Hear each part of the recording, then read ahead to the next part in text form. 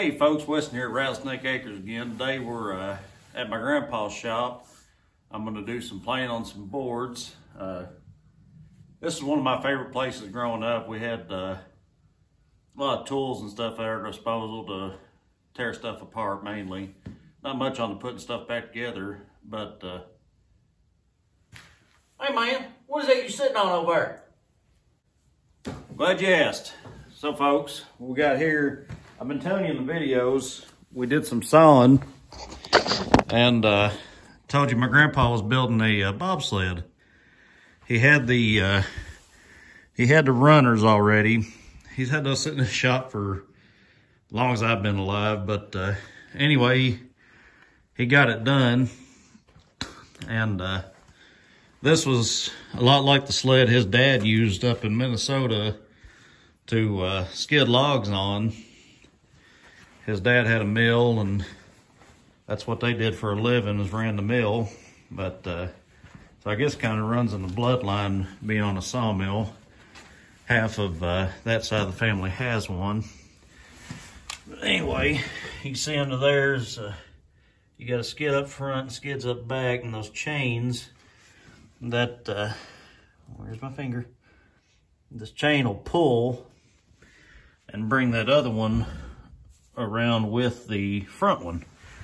So pretty cool guys. But anyway, we're gonna be using this planer today and we're gonna plane some boards down to make our doors.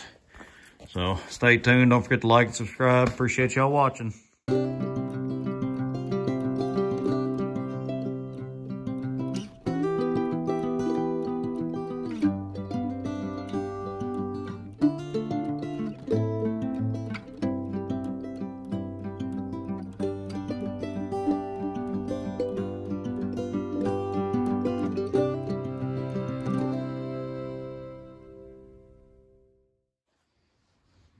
Somebody made a mess. Let's get this cleaned up.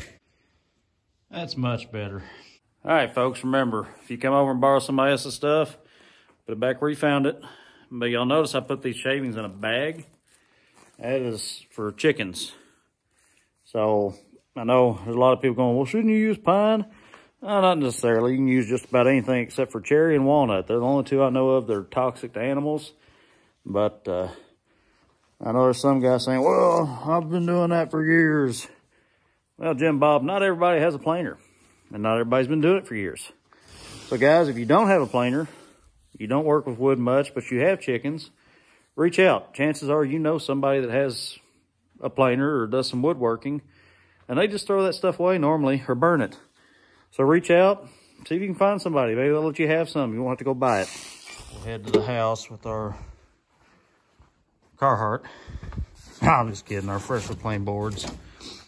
But, uh, yeah. And maybe tomorrow we'll work on making some doors.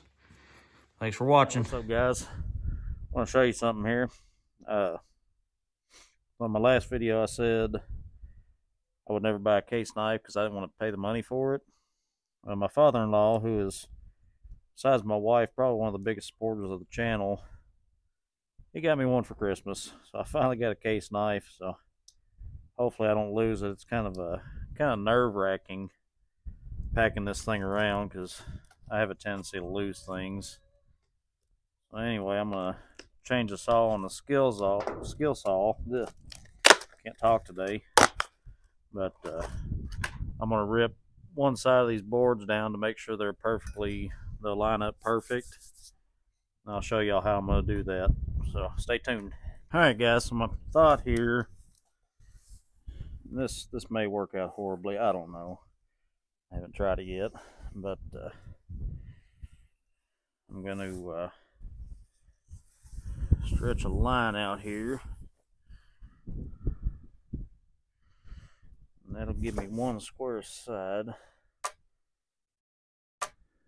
Okay. Now what I'm going to do is I'm going to saw that and then I'll after I get all of them ripped down on one side I'll take my square and run along there and I'll show you all that here in a minute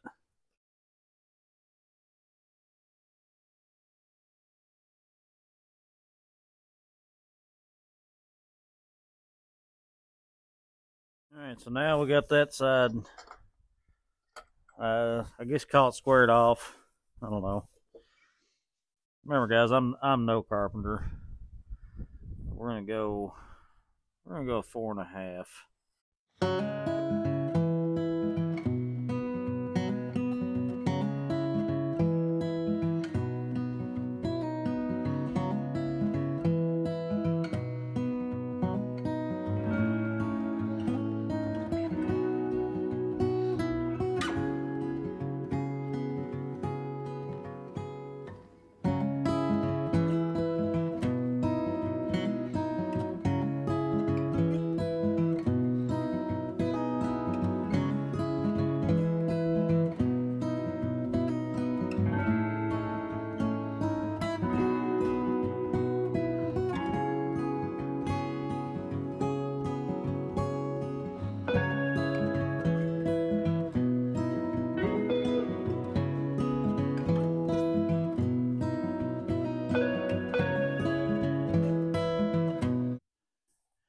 All right, guys, I'm gonna go a different direction.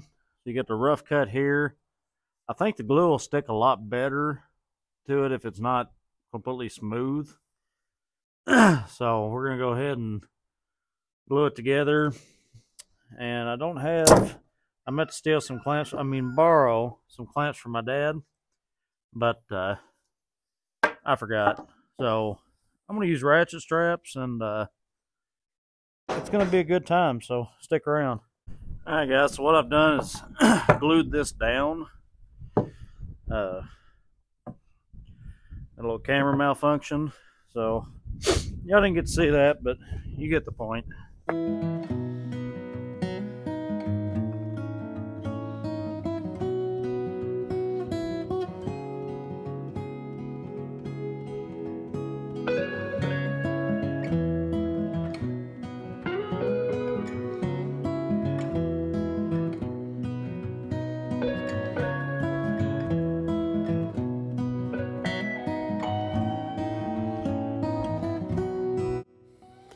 I'm doing this so the boards are good and level. I'll pull these other boards back off before I finish the door.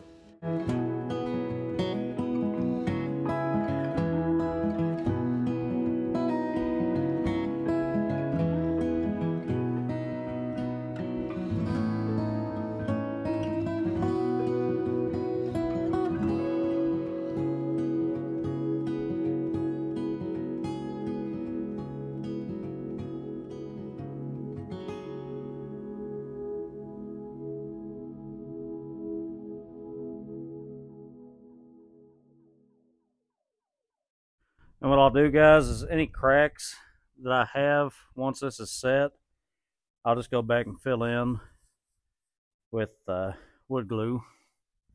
What we got here.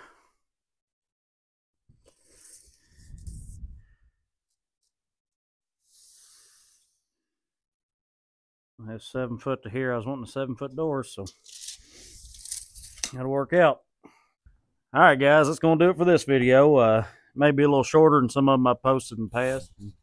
I apologize for that, but uh, you just you do what you can, guys. But anyway, uh, we are running a contest for names for the chainsaw.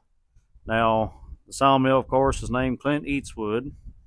So uh, we had uh, Jennifer White commented and said uh, to name it the Duke after John Wayne, and the girls and I thought that was really clever, and uh, so y'all meet the Duke. But uh, I appreciate y'all voting on that. And uh, guys, we've uh, we broke 100 subscribers on this channel, so that's that's really exciting to me. And I appreciate anybody who has subscribed, and I appreciate everybody watching. I really didn't expect it to go past the uh, 25 or 30 people that I knew that were friends and family, you know, that uh, were kind of obligated to subscribe, but uh, I appreciate them and I appreciate all that have subscribed and liked my videos. And uh, if you haven't liked and subscribed, go ahead and do that if you want to. And if you don't want to, that's fine. But uh, come on back and see us sometime. We'll be up to something here on Rattlesnake Acres. But uh, anyway, until next time, y'all be well. God bless you, and thank y'all for watching.